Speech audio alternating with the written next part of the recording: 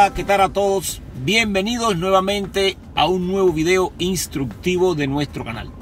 Soy Rolando como siempre y hoy les quiero presentar el video de la clase número 3 de cómo aprender a conducir desde cero. Esta serie la estamos haciendo porque nos han dejado en los comentarios de los videos que quisieran un orden para cuando vayan a comenzar a hacer sus prácticas poder guiarse qué hacer primero y qué hacer después. En la clase de hoy vamos a abordar el tema de los giros, cómo usar las luces intermitentes y algunas otras maniobras importantes. Yo les recomiendo que cuando comiencen a hacer sus prácticas, lo primero que deben hacer es siempre enfocarse que la repetición es el único método que te va a dar la habilidad. Quisiera que me dejes tu sugerencia y me dejes tus comentarios en la descripción del video. Si tú me sugieres, nosotros vamos a hacer nuevos videos para el interés de todos. Regálame una manito arriba o una manito abajo según tu criterio personal del video y así nosotros podemos mejorar nuestro trabajo. Fue un placer hablar para ustedes. Yo espero que este video que vamos a hacer de la clase número 3 pueda aclarar tus dudas sobre muchas cosas y te pueda ayudar en tus prácticas. Nos vemos en un próximo video de nuestro canal y espero que disfruten esta clase. Hasta la próxima.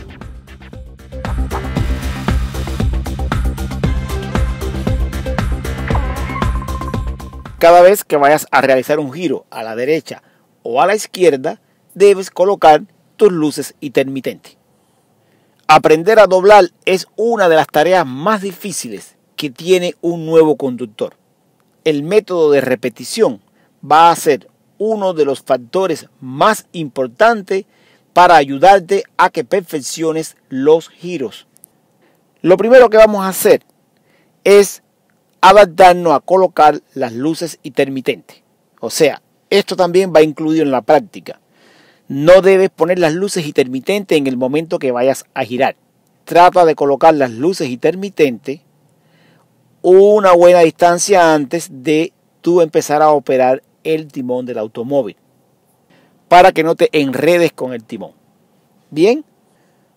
Para colocar las luces intermitentes, tú debes usar la mano izquierda y de esta manera que yo te estoy enseñando aquí, miren para acá, vas a usar estos dos dedos para operar la luz intermitente.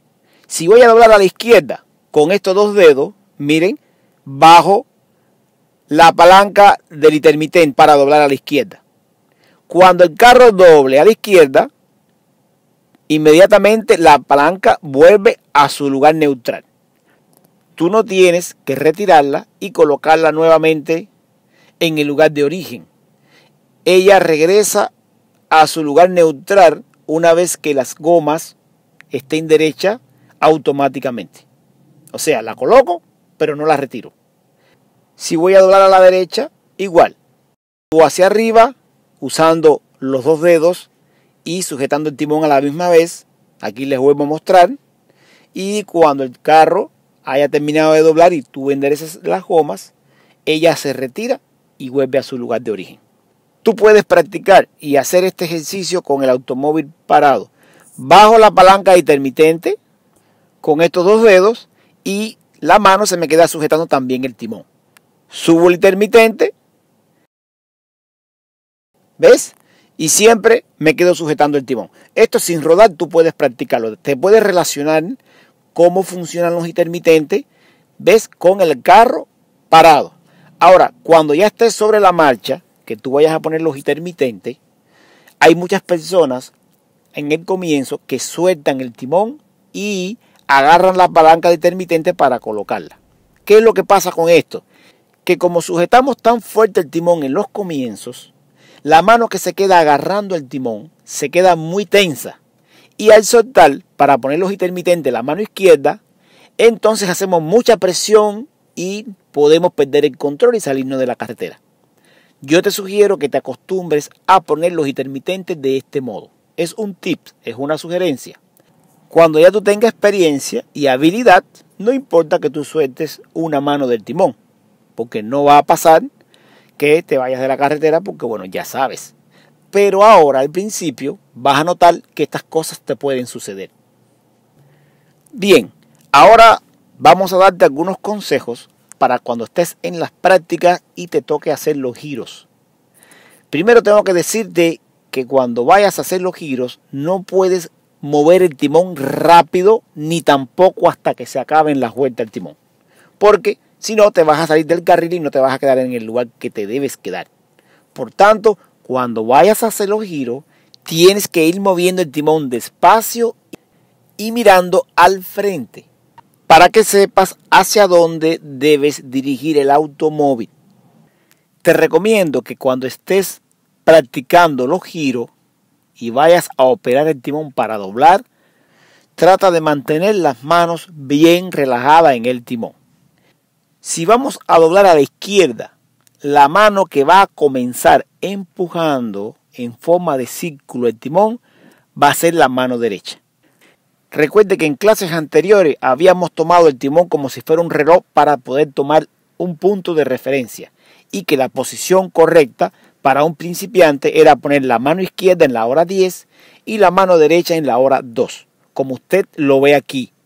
Bien, cuando la mano derecha empiece a empujar para doblar, va a deslizarse desde la hora 2 hasta la hora 10, mientras que la mano izquierda, que está acá, se debe levantar ligeramente y agarrar en la hora 12 y empujarlo hasta la hora 10. Vuelvo y retomo la posición correcta y hago lo mismo. Mira, aquí está el ejemplo. Yo lo voy a poner en cámara lenta para que usted pueda desempeñar esta práctica y aprenda este movimiento. Hay personas que te van a decir que las manos no se pueden cruzar. Eso es un error. En ningún examen práctico descalifican a nadie porque usted haga un movimiento parecido a este.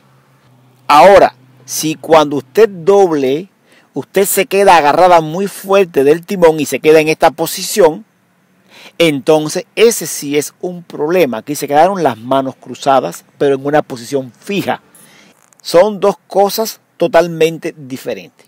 Otra cosa que no se puede hacer cuando vayas a doblar es mover el timón por pedacitos, por pequeños pedazos. Aquí estás sujetando el timón muy fuerte y esto es muy impropio. Si te notas que estás haciéndolo de este modo, trata de soltar un poquito el timón y hacerlo de una manera más larga y completa como yo le enseñé ahora aquí en este video. Otra de las recomendaciones que yo le puedo dar a ustedes en esta clase es que siempre cuando estén practicando los giros usen siempre el lado derecho de la carretera. Tenga en cuenta que la parte derecha es la parte que le toca a usted para circular, siempre y cuando la carretera sea de sentidos contrarios. ¿Cómo yo puedo identificar si la carretera en la que yo estoy circulando es de sentidos contrarios o no. Bueno, una carretera de sentidos contrarios, si está pintada correctamente, debe tener una línea amarilla en el centro.